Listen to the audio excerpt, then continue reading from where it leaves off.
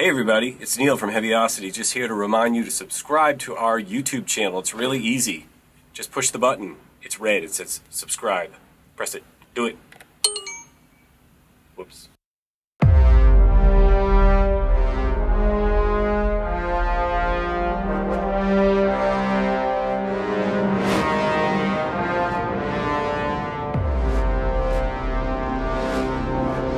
This is Neil. Welcome back. This is another edition of Two Hour Cues, and today we're going to learn how to be a hero. You say, what? So, I wrote a track with kind of a hero theme in mind, and I wanted to go through that and talk about my process, how I developed this, what I did. I'm just going to jump right in and play parts of it and then discuss what I was thinking, how it resonates in the track, what things are supporting it. That's enough talking. Let's go.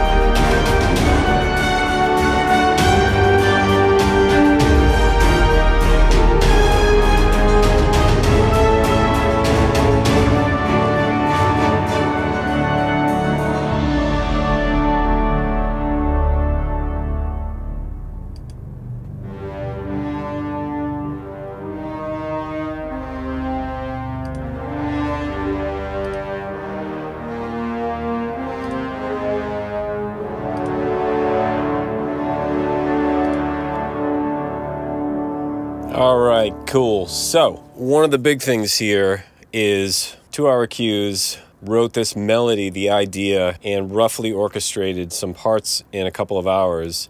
I'm not the greatest orchestrator, and I don't spend a lot of time, you know, doing orchestra tracks. So, for me, I had to spend more time experimenting, getting things to work. But we'll forget about that for a moment and kind of focus on what's happening here. One of my favorite parts is the end where the melody kind of comes back. So you have the French horns playing this line.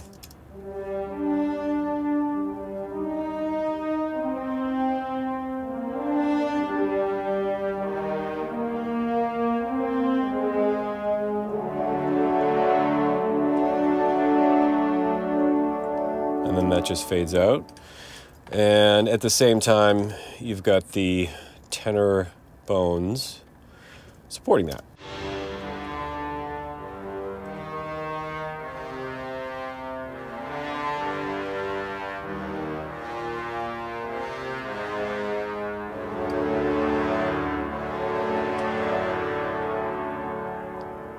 To me that was the most important part of this was getting a melody that i liked. I was like oh not an easy thing sometimes. So once that was happening kind of building a piece around it was was easier. When i was sort of finished or thought i was finished i had an intro and it was kind of just murky and then it started around bar 13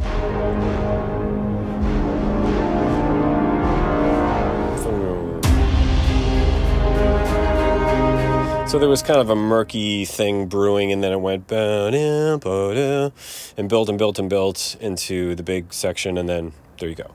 So I, after the fact, took the melody that was working and liked, and I figured I'd introduce it in the beginning, kind of as a subdued, kind of lower key version of itself.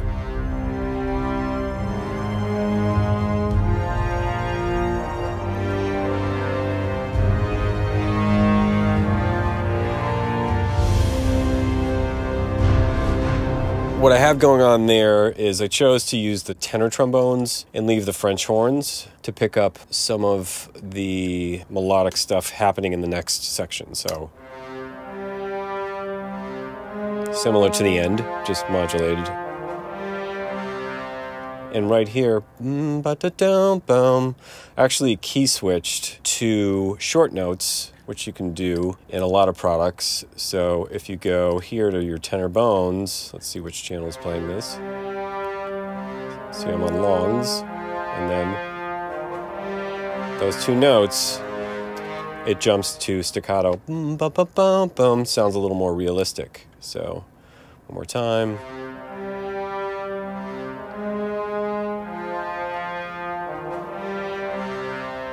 Eh, those two notes are back to legato. So what else is going on here just for mood? So there's this loop designer. It's just kind of a murky loop thing happening and it slowly fades in as you can see with the volume here.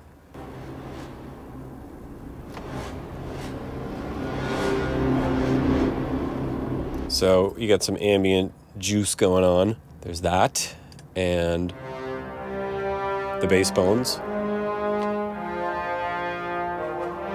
Just kind of holding down the fort with some low notes here.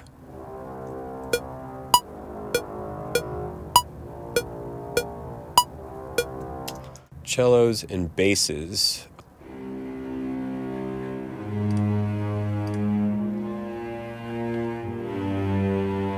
So there's the cello and the bass.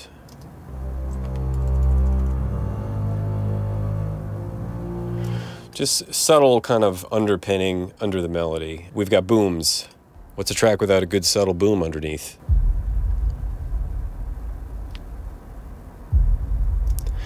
So with the track playing,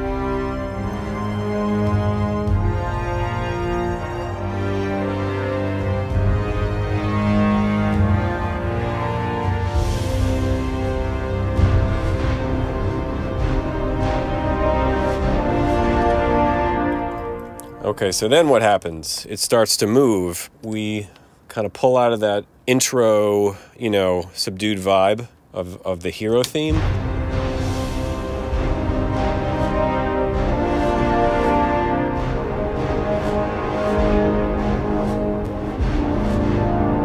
All right, so that dun, dun, dun, that's happening in the horns, in the helicopters above. So we have.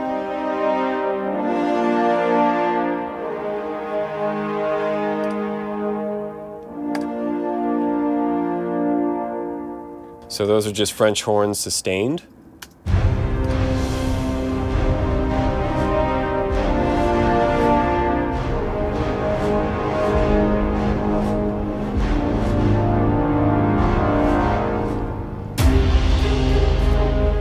So the energy's building a little bit. Um, we have more motion. There's some rhythm that's happening. I like to try to find stuff. When I say stuff, I'm talking about rhythm elements that to me they're new. And sometimes it's looking through our products or whatever product you might choose and say, oh, that's a, I'm not always going to use the same big bass drum and reverb or some, you know, ensemble thing.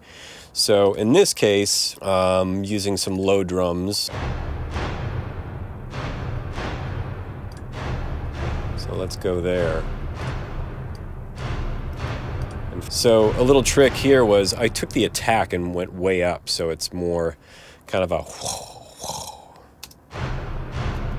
versus it's kind of a neat distant hit that's occurring.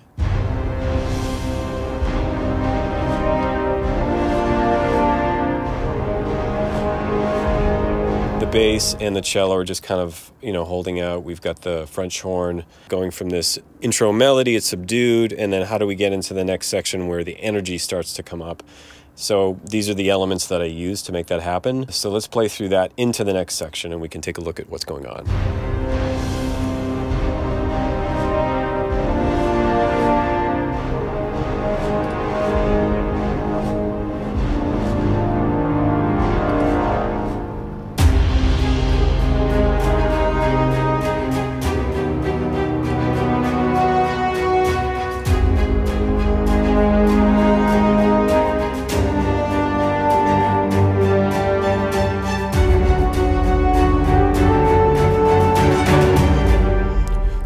There. A number of things happening. So I wanted to get some energy going. I wanted to stick to more traditional instruments. So let's let's uh, open up the spiccato violin.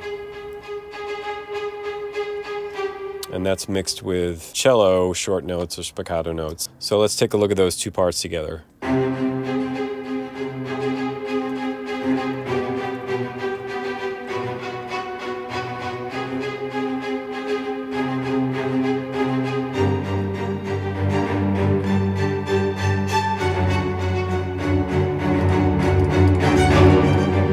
So how did I do that? I don't remember. So I started with a simple line, just the violins playing short notes.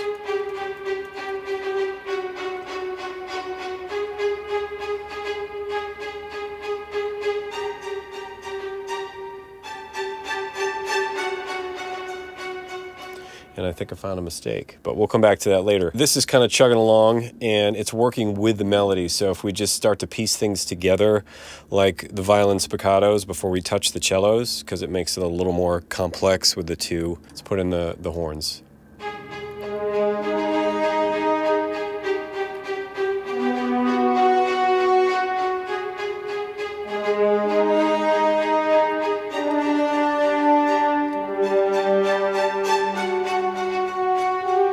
So there's like a skeletal version of you know your main melody happening and this kind of like chugging along rhythm that is happening from the short string notes. If we put the cello in,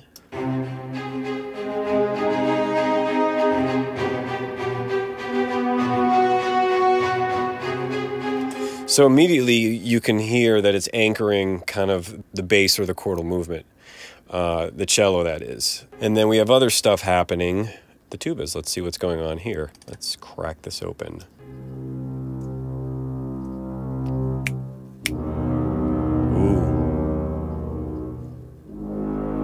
Ooh. Interesting.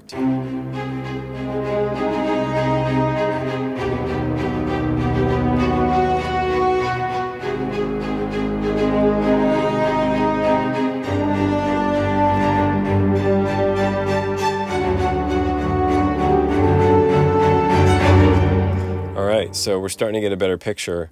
So tubas are basically just playing long bass notes. There's a little tension happening here.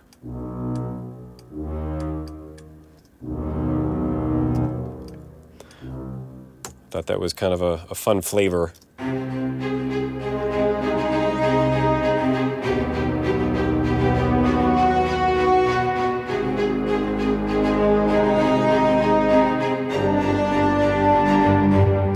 So it goes, the bass movement is going down to a D sharp here, and it kind of, it starts to feel, I don't know, again, music being kind of an emotional thing while I'm writing. I'm not thinking, this is this chord, this is this chord. I'm kind of playing around with melody and what supports it, what's happening rhythmically.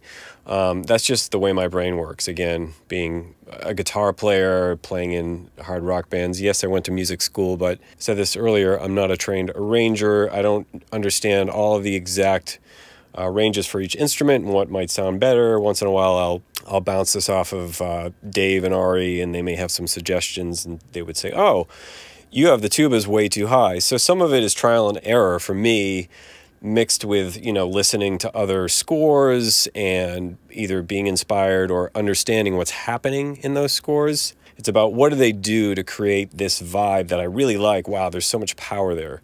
And that's often how i work. Let's get out of this tuba section and see what else is going on. We have bass bones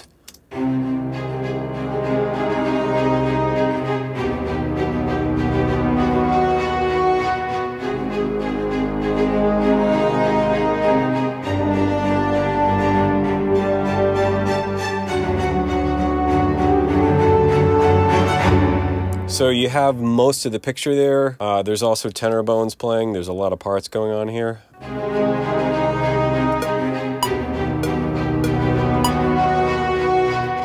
Which is reinforcing what's happening with the French horns. This is just the French horns playing,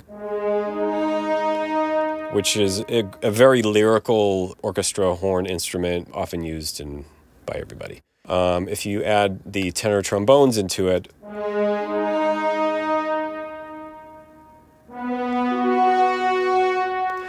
there's this like a synergy they kind of glue together really nicely, even though they're playing unison in that case. Um, I have other things that we've already gone through that are filling out some of the harmonic content. Um, again, the bass bones, the tuba, you know, that's kind of the whole picture in this section.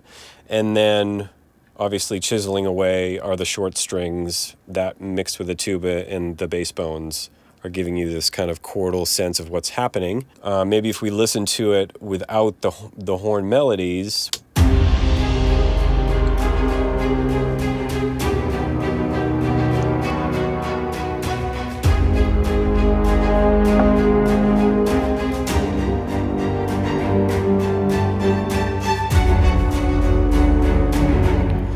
So, yeah, there's a lot going on, and it took a while to kind of piece all those things together. The last piece in this section that is moving stuff along is percussion. And, you know, I didn't go crazy, bang you over the head trailer track kind of percussion, which I normally would go for. I have a bunch of stuff loaded in. So you can see we have uh, hits, breakout, one, that's really just big sub hits. And then sounds like kind of brushes on drums. It's not, you know, huge hits. And the section is really just kind of a mid level, you know, we're not on 10, we're on like five and a half here. So I'll show you what that is. Here we go. It's uh, Studio Armageddon Ensemble. And click on, if you click on that, it's those drums played lightly. What else is happening rhythmically? In this section, we have some gongs. So I think the downbeat I hit with the big which kind of, it gives you this impact, not a really harsh one, but almost like this stereo envelope kind of thing with the gong hit. And then it's tapping away on it. Again, the whole rhythmic component is.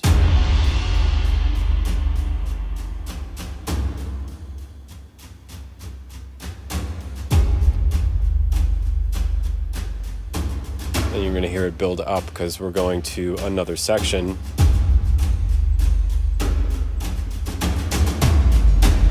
So now we're in the next section. Hits are harder, there's more motion, hearing some metals. Cool, so let's listen to that whole section.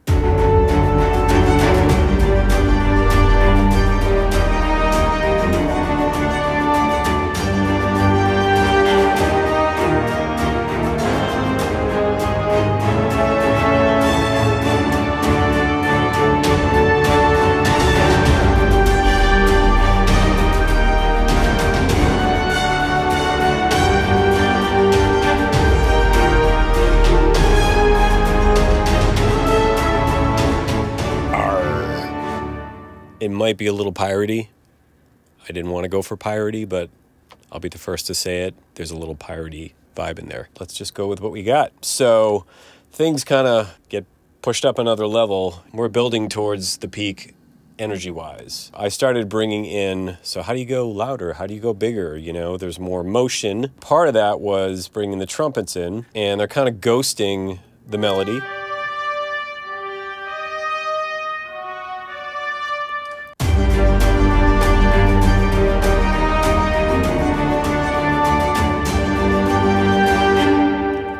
It's bringing everything up just a bit more emotion, excitement, all that good stuff. The horns.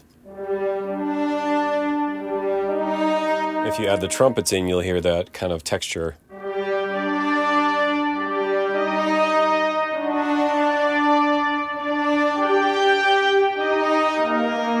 And below that is the tenor, uh, the tenor trombones.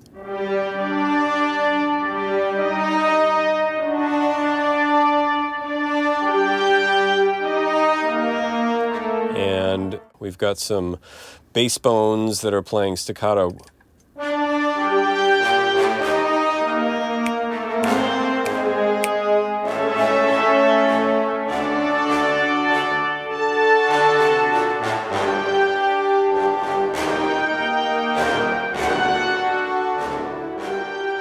that's adding some motion to this whole thing um, and some you know of the low end happening we have sustained tubas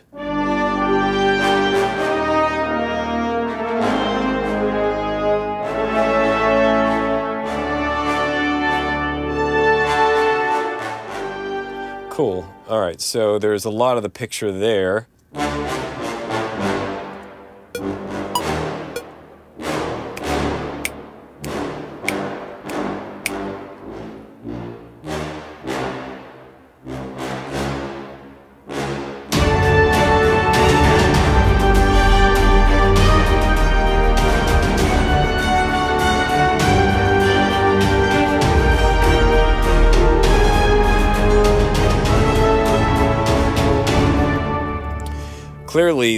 Lot going on here. It gets harder to mix when you have a lot of stuff going on. Um, just to add in a few thoughts about this, like I wouldn't consider this piece done, but considering the series is two hour cues, I didn't want to spend days and days working on something you know, to get it where I was like, this is finished and I love it and I want to release it. I wanted to get enough so it was presentable and you could hear what was going on and understand some of the decisions that I made as we're going through, but not, you know, finesse every part to perfection. And if we say focus on some of the other instruments,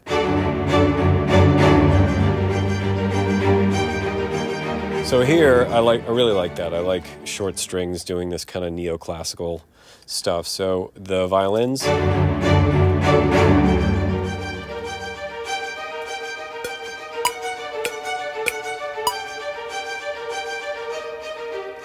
Okay.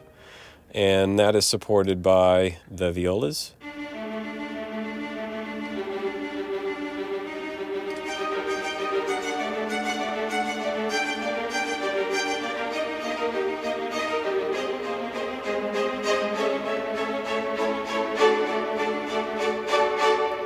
And to get these kind of, you know, parts to sound somewhat realistic, given that it's MIDI, you know, dynamics plays a huge part of this.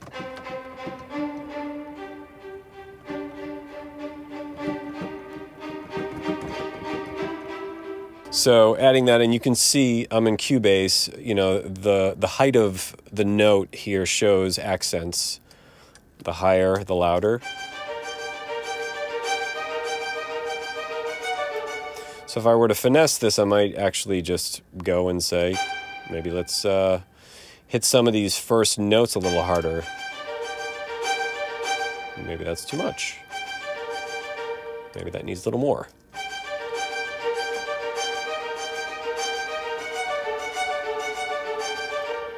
It's almost cool to experiment with maybe I don't accent the first note but the second. Like I heard that here and I like it.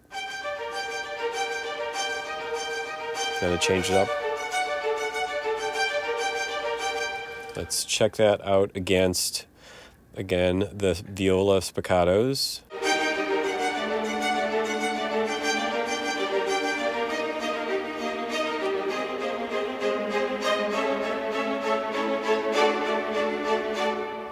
And one more part, cellos. Let's just hear the cellos.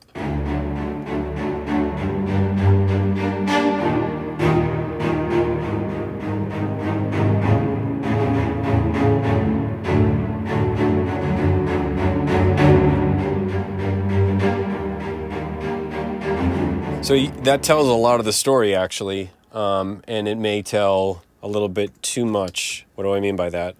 It's really thick. I like it. I love cellos. They're really playing tight, and you feel this this chord motion happening,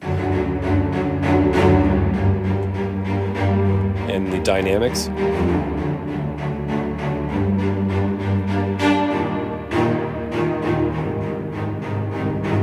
Dynamics are a huge part of getting this to sound more realistic, again, because it is uh, sampled instruments. So the three together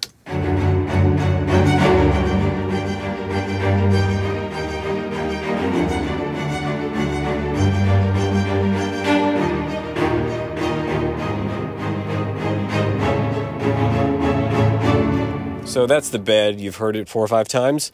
If you put the melody in over it, you'll see how that starts to work. And I'll just put the French horns in.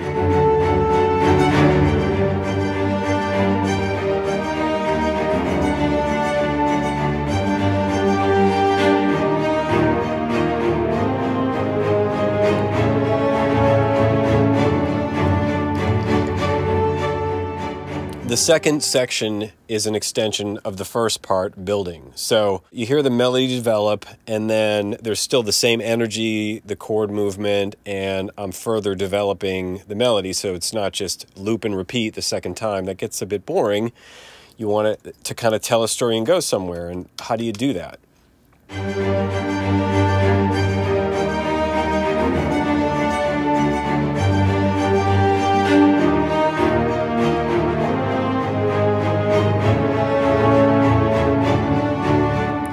Right, so that phrase is part of the main body of the piece.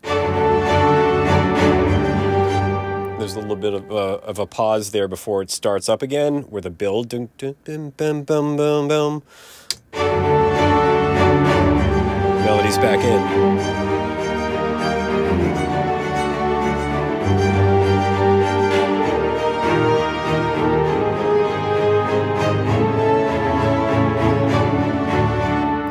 So in a way, it's it's kind of an answer to the first part of the melody. So let's go back and listen to that.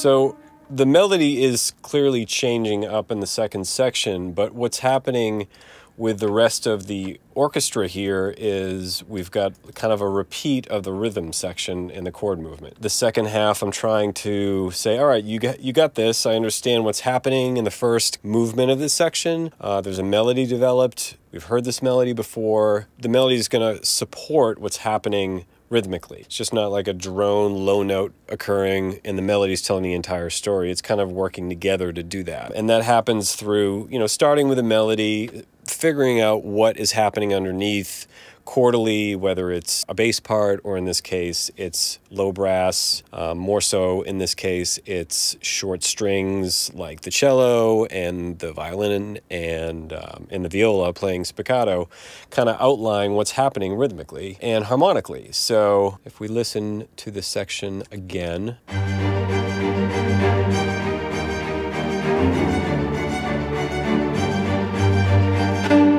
And then we jump ahead It's doing the same thing. What the difference here is that's really making a difference is, I think, the change up in the melody um, to kind of bring this to yet another level.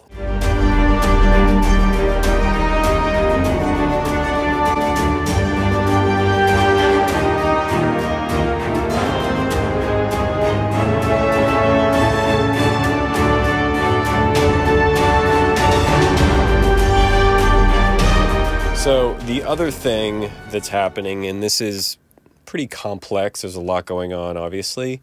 I start to bring in these staccato trumpets. So, you have so this.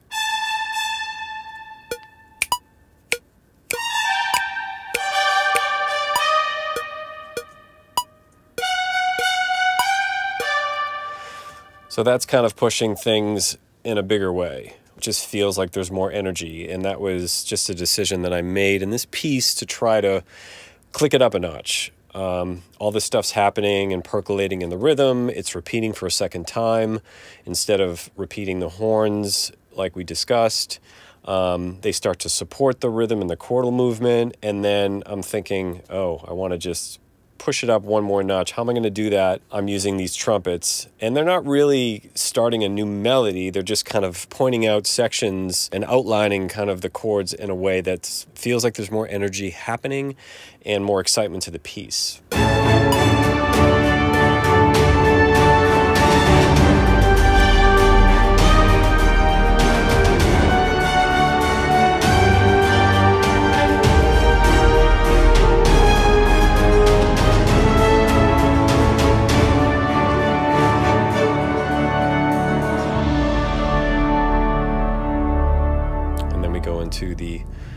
melody coming back.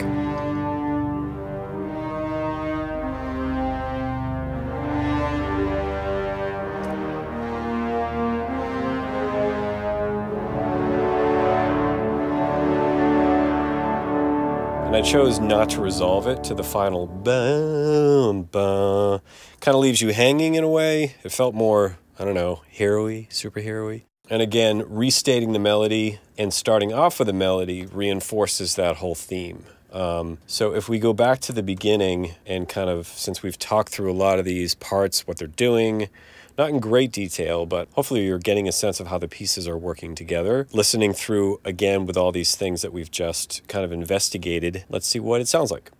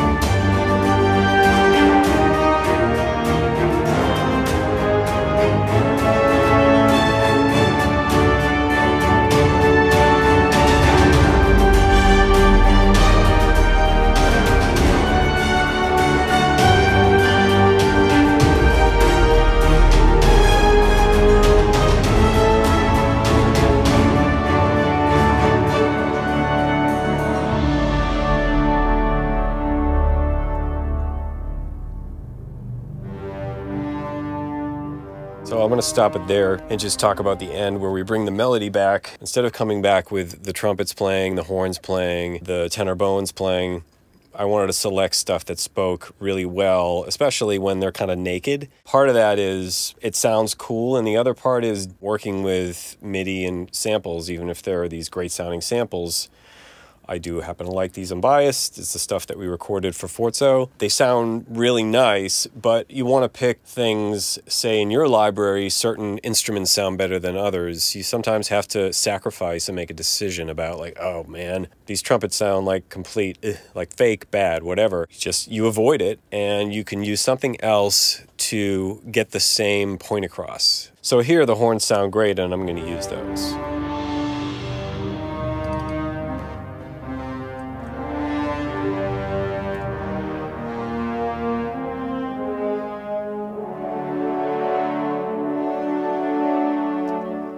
So on the last two chords, I just supported.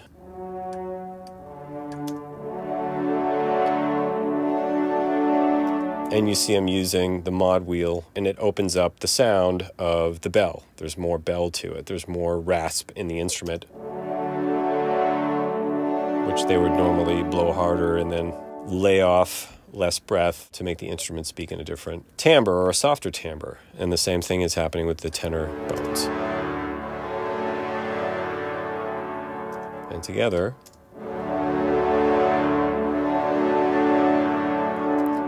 And on the bottom, we have bass bones.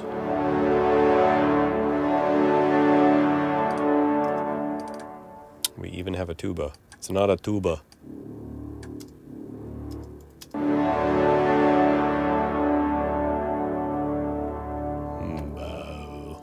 Adds a really nice fullness on the bottom. Uh, so that is a quick overview of what's going on. There are some other little textural things happening. Like I said, I probably would go in and start to pick and choose parts that are too thick, you know, so it just doesn't sound so almost overloaded with, okay, everybody is playing this note at this time, it's unnecessary, but in, you know, the scope of writing this and trying to keep it within a reasonable amount of time, I didn't do that rhythmically on the end.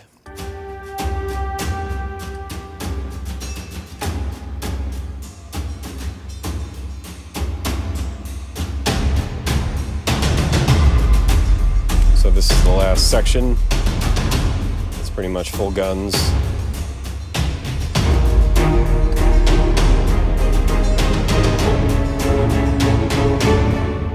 So again, with those lower strings playing with the rhythm, it adds that tightness. We'll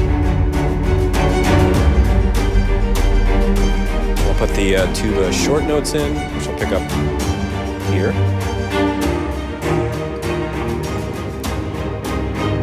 And the bass bone staccatos.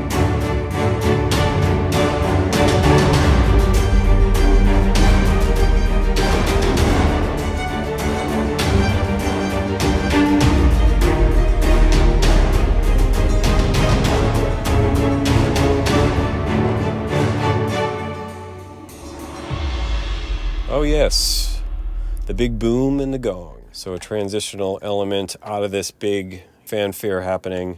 Again, you're hearing that here.